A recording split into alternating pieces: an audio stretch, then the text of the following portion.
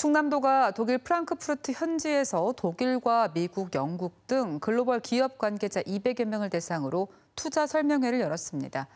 지방 자치단체가 유럽에서 글로벌 기업을 대상으로 투자 설명회를 연 것은 처음으로 김태흠 충남지사는 충남이 글로벌 불확실성을 해결할 수 있는 역동적인 최고의 투자처임을 강조하며 기업의 투자를 유도했습니다.